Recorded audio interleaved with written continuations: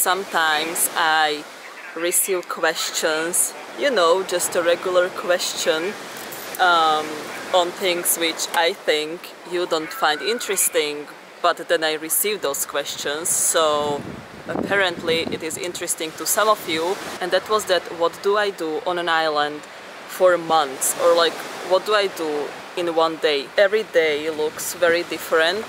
Sometimes I don't do anything and I don't even leave my house. Sometimes it is more about meeting friends Sometimes it is more about parties, birthday parties, barbecues. Summer here is amazing and there are so many things happening all the time, every weekend, on different parts of the island. I really got into swimming um, this summer. Also the ocean is really hot, like they were talking about it that it has like 24, 25 degrees, which is, uh, which is a lot for the fact that uh, it's uh, it's here and it's the Atlantic. And what we are going to do today is now it's morning. I usually come to the beach here in uh, near Vila Franca let me show you. Yeah this one. It is good for swimming because it's a little bay so the waves are not too big usually. And also there is a small bar so that's where I usually get coffee like every morning. Also the coffee shop has a very nice view, you know, it's right uh, near the ocean. So yes, the plan is now that we go take coffee after we go for a swim and then I go directly to Ponta Delgada because I started taking boxing classes again. I did it like three years ago when I was here on a study abroad program and um, yeah I would like to get back to it. So we have that. And in the afternoon we have a barbecue with some uh, friends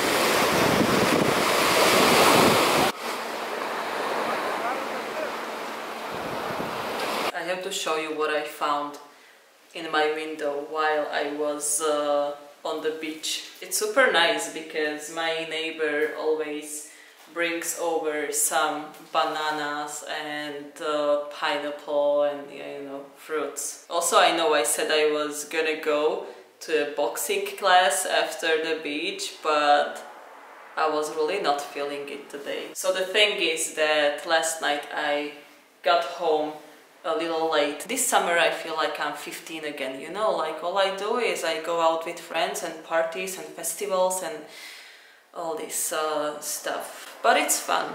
By the way, the other day I was putting these uh, cups on the internet because I was trying to make a cute picture, you know, and I received so many messages on where are these cups from. I have them in two colors, this one, like the blue one, and then I have like white ones like this and I have them from Sintra from mainland Portugal. There is like a really cool shop in uh, in Sintra where I always shop and the other day I also got stuff for for my family. Let me show you. So I got this stuff for my parents and my father because we have a vineyard back at home in Slovakia. This is the shop and every time I go there I just buy stuff there because I think it's so beautiful and they had this like cute uh, collection of uh, like plates and and everything like vineyard connected.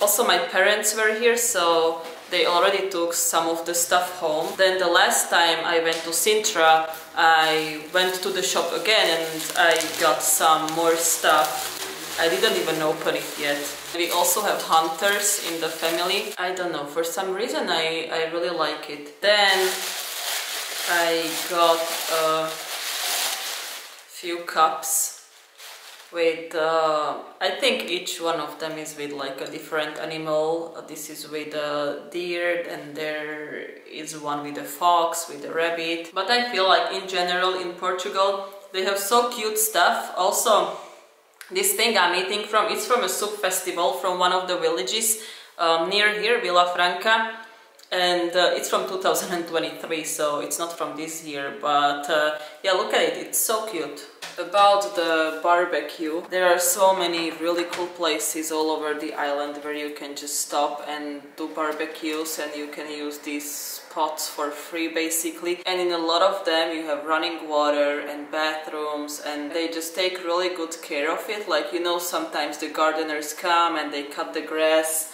Yeah, it's not only tourists who use them a lot, but also people from here. A lot of times you just see whenever you know it's a Wednesday afternoon and people are making like huge barbecues and they are celebrating birthday parties over there so they come and they decorate like the spot. You know what I like is that they know how to live life and it won't stop them that it's Wednesday just because they have to go to work tomorrow. In Slovakia you never see such things. Nobody really goes out during the week. I have this pineapple from my neighbor.